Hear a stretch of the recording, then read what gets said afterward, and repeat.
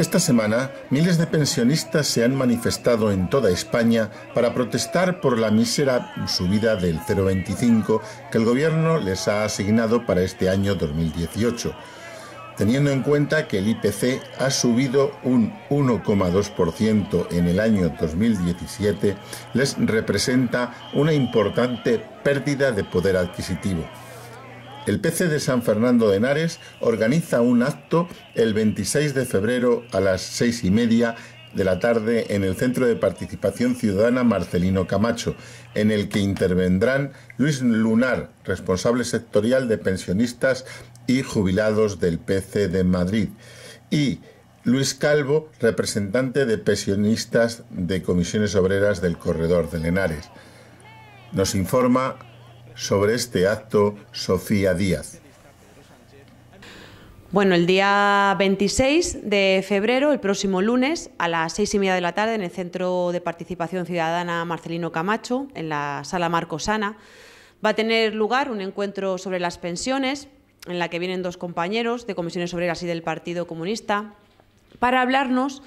eh, bueno, pues de una situación que está hoy en día candente y bueno, estamos viendo todas las movilizaciones que hay a nivel estatal en todas las principales ciudades de,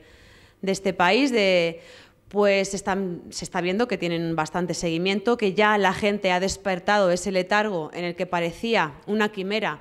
que peligraran nuestras pensiones y es que la realidad, la realidad que, que tenemos hoy en día es que peligran, peligran el futuro de nuestras pensiones, las de hoy, y sobre todo también las de futuro. Estamos viendo cómo, el Partido Popular cada vez quiere que nos jubilemos con más, eh, con más edad. Hay trabajos en los que verdaderamente esto se hace eh, imposible. Eh, bueno, tenemos que, escuchar barbaridades como la de Celia Villalobos, en la que bueno, ya se jubilaría a los 80 años, evidentemente en un sillón y sin nada que hacer en tu casa y compartir con tu familia momentos después de una larga vida de años trabajados bueno, pues a ella, si a ella no le importa, bueno, que ella siga en lo que crea que tiene que seguir, que nosotros queremos una jubilación digna y unas pensiones dignas que nos den calidad de vida, porque ahora mismo hay pensiones en las que no dan ni para, ni para poder eh, comer. Sabemos que en este país muchos de los pensionistas sustentan eh, a sus familias porque en este país eh, la precariedad laboral que sufrimos pues conlleva a que, a que, sean nuestros padres, nuestros mayores, los que tengan que, ayudarnos eh, a los más jóvenes. Por eso os esperamos el día, el día 26